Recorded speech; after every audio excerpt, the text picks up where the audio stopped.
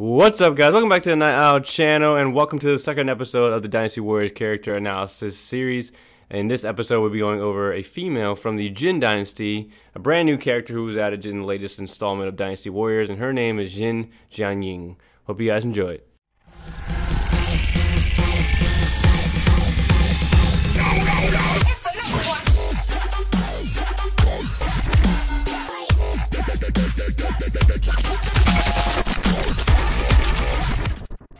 A native of Longxi County, Gansu, Xianying was an intelligent girl who spent most of her time studying at a young age.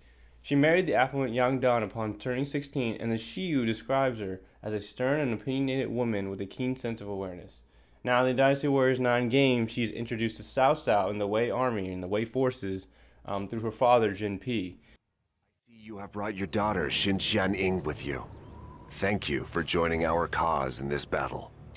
Because of you two, the turmoil in Ji province finally shows signs of settling down. Xin Xianying.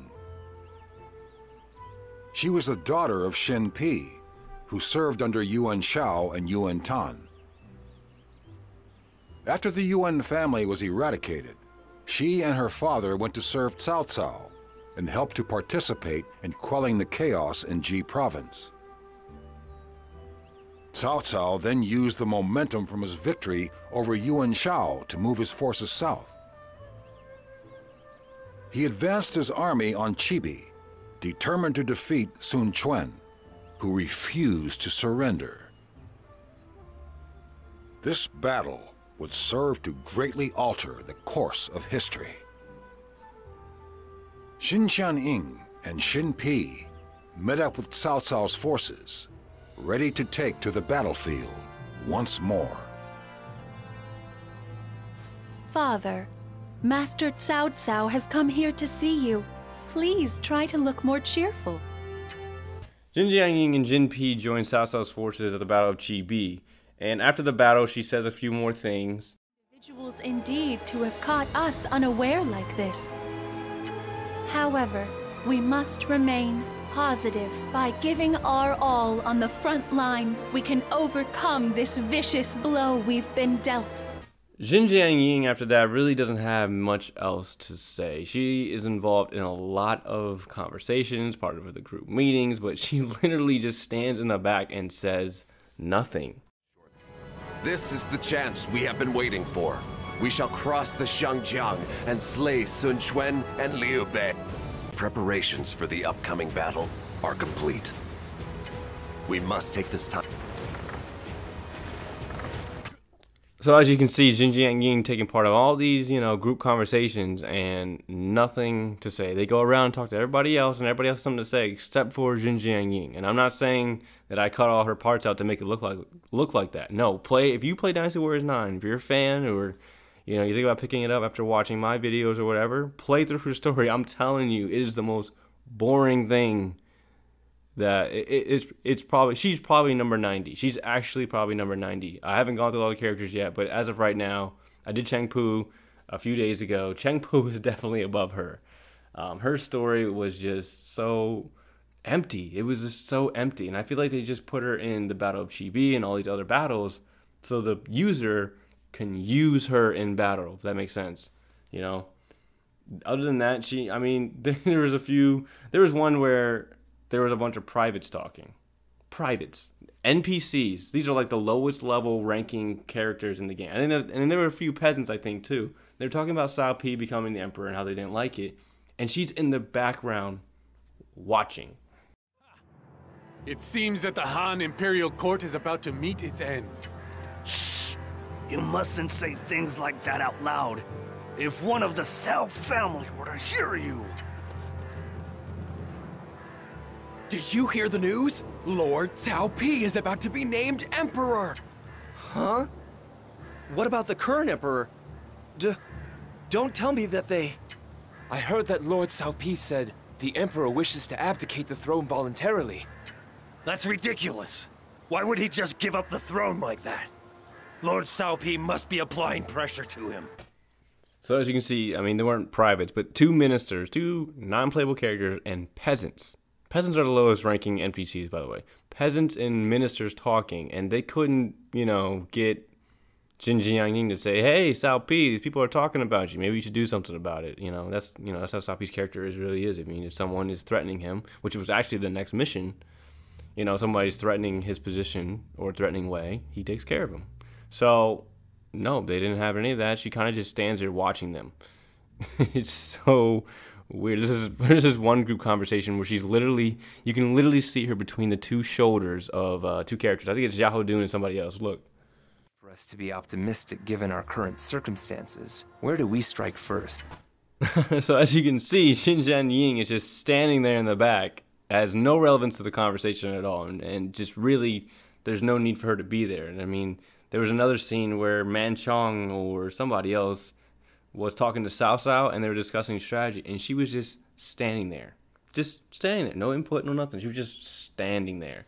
It's just so weird going through her story, and that's basically she's like that friend in the group that just kind of doesn't know what's going on, but kind of like laughs along and kind of nods her head like she thinks everything's going on, but she really has no idea. Friends ever have a conversation and you just nod along even though you're not really sure what they're talking about?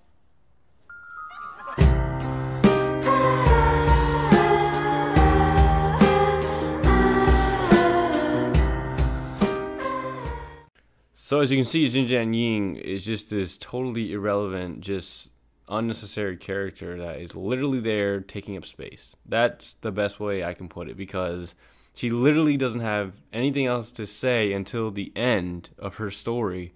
And this is where the Wei forces are like struggling or something, and they like make her out to be this like beacon of hope. Like her cutscene, she literally comes in, they're like, "Oh, my lady, you're here." It, it, it's so crazy. And then also, what's also so crazy is that her father is still alive.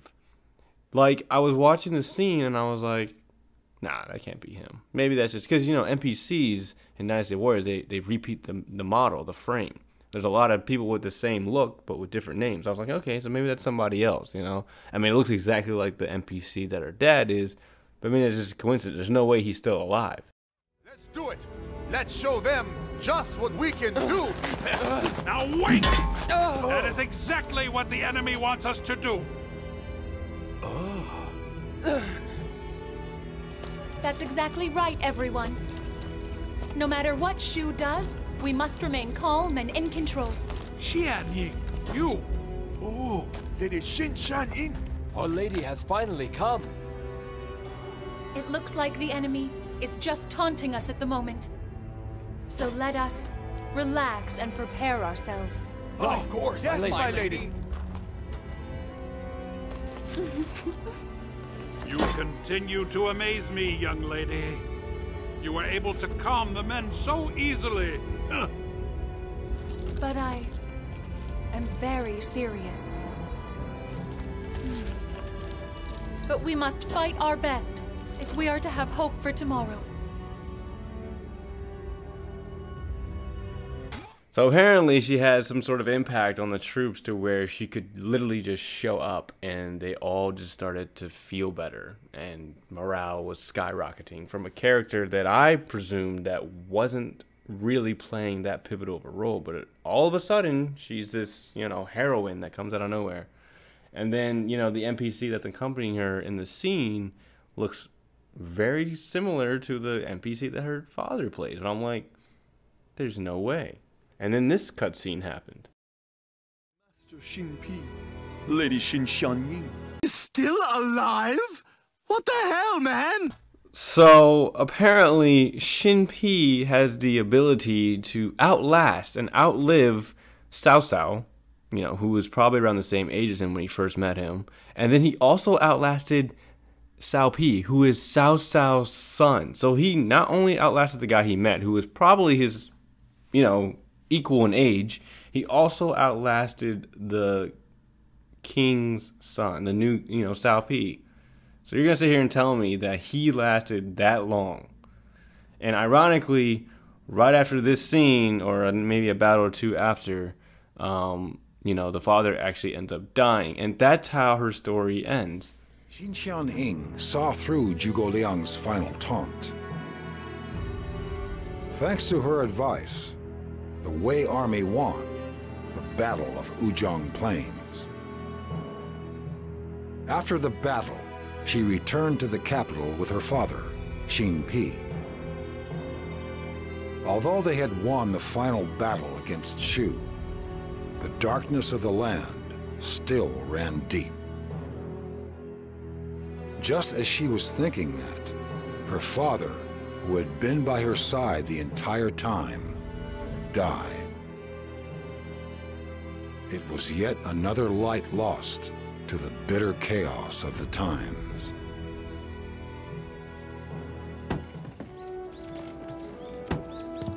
Father, I've brought you the paperwork that you've requested. Father? No! Father! Father! Lose your composure, Qian Ying. I was in the middle of enjoying a much-needed nap, and that irritating habit of yours called me back to reality. I am so glad, Father. But looking at what is really going on at the moment, the future of Wei and of our family is grim. And darling, when I start thinking of that, I just wish I could quietly slip away. I see. Sometimes even you have your moments of weakness. But you don't have to worry. No matter how deep the darkness gets, there is always going to be light. We just have to find it. To find the hope.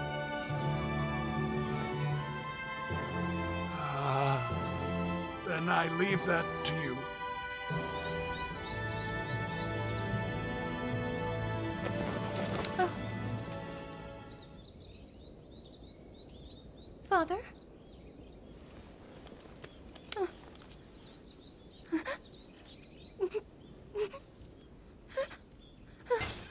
So that's the end of her story. I mean, that's pretty much it. There's not much else to analyze. I mean, she didn't do much for me to analyze. I mean, her weapon style was all right. Uh, I liked playing as it. I don't think it fits her as a character. I think a da- smaller dagger or maybe like a the old weapon that Yue Ying used to use on her arm, that would have been fine for her. Uh, the axe is, I just don't think it's, I don't think it fits her. Anyway, her voice acting was fine. She didn't really have any others. She's, you know, she's she wasn't even an NPC before. She's just to me, she's a brand new character. I didn't even know who she was when I first saw her name. So, I mean, that's a lot, that's a lot of people with the Jin on the Jin Dynasty. But, um, and, and she's also considered a Jin officer when the story didn't even revolve around Jin. She literally the story cut out before it even got to Jin. So, that's misleading. And then voice acting was fine. Story was terrible. Just empty story. Didn't make any sense. Beginning, she was helping her father father disappears throughout the entire story, and then she shows up at the end, and she's a heroine, and then he dies. I'm like, it just didn't make any sense. The most interesting parts of her story was Xiahou Yuan's death.